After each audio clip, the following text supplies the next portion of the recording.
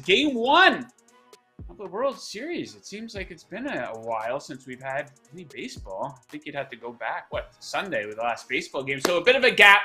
And uh, World Series game one gets going here tonight in Houston. I'm going to go maybe a bit contrarian here. I'm going to take the Phillies' first five team total over one and a half coming in at plus one.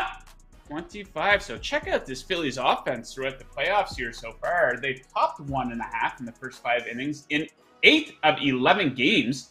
Lots of early offense for the Phillies, who've been very clutch in the playoffs here. An 840 OPS with runners in scoring position.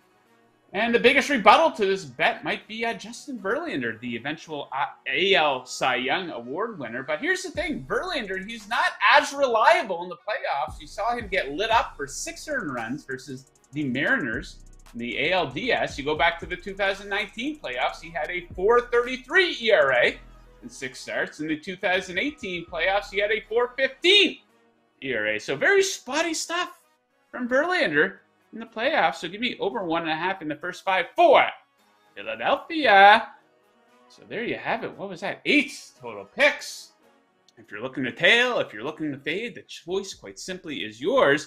I recommend placing your action over at BetMGM. Let me tell you a little bit about them. Kick off your day of sports betting with the king of sportsbooks. Sign up with BetMGM using bonus code VI bonus your first wager is risk free up to $1,000.